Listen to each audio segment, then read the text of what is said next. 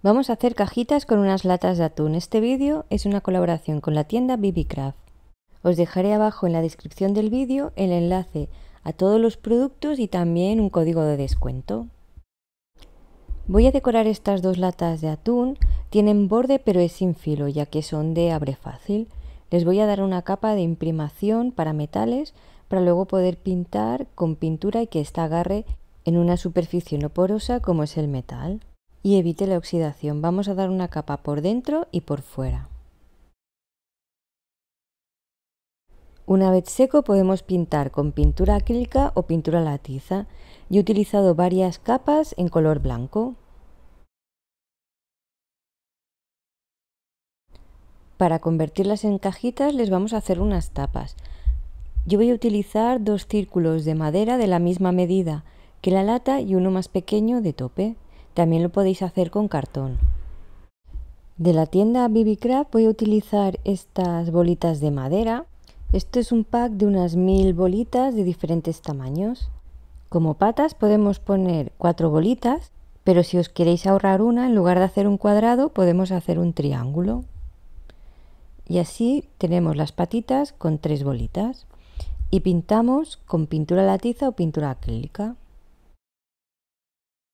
Voy a decorar con decoupage, pero voy a aprovechar una de las capas blancas de una servilleta para hacer mis propias servilletas con una plantilla. Estoy utilizando pintura acrílica en color verde, descargo bien y luego con un pincel de estarcido voy dándole brochazos muy descargados de pintura con movimientos circulares.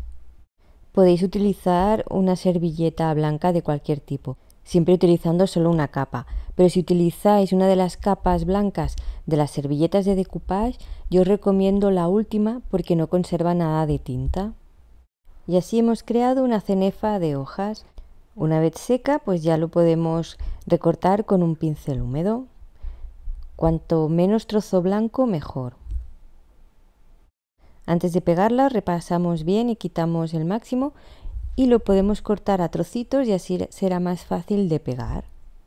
Esta técnica es ideal para superficies que no son planas. Esta lata tiene dos bordes, uno arriba y otro abajo, lo que impide que la plantilla contacte completamente con la superficie.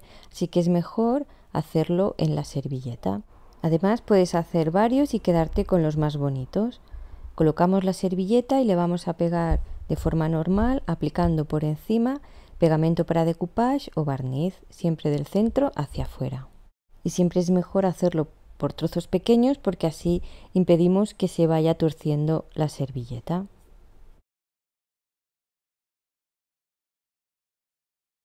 La tapa la voy a pintar con pintura latiza en color blanco. También vamos a hacer decoupage encima de la tapa.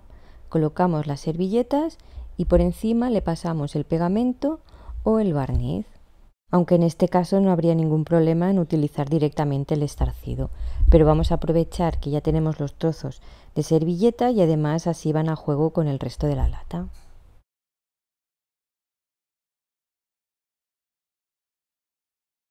Tengo este trocito de servilleta y lo voy a aprovechar al máximo intentando recortar todos los trozos que valga la pena. Primero marco con un pincel húmedo y luego ya recorto con la mano.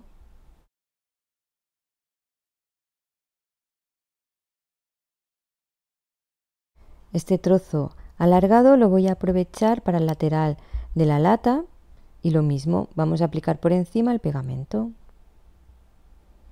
Yo estoy utilizando barniz al agua en acabado brillante porque es el mismo que voy a utilizar para barnizar.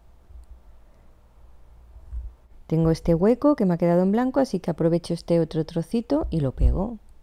Y luego barnizo toda la lata, tanto por dentro como por fuera.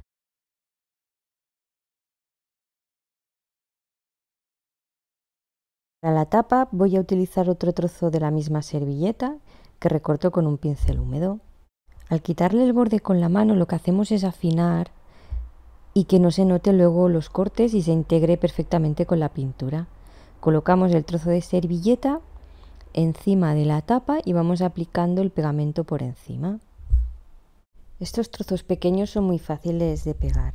Lo podemos hacer con pegamento para decoupage, aunque yo siempre prefiero el barniz porque como que endurece la servilleta. Voy a atornillar unas asas metálicas y voy a utilizar estos tornillitos pequeñitos de BB Craft que son súper prácticos porque hay que atornillar muy poco y sujetan bien.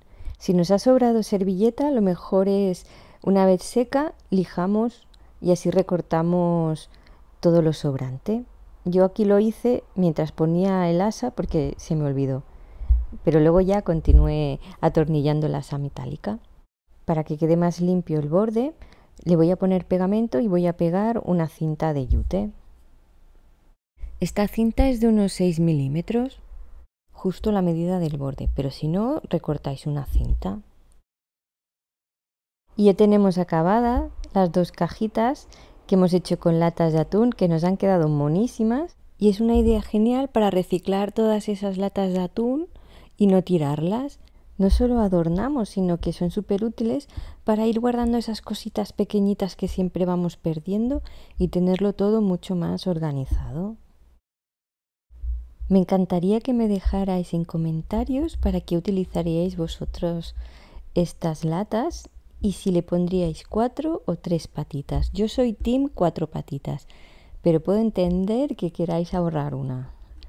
Aprovecho para recordaros que la tienda BBCraft tiene un programa para canales de YouTube.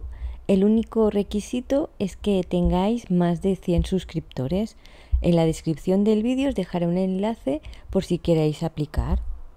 Ya está aquí el vídeo de hoy, espero que os haya gustado.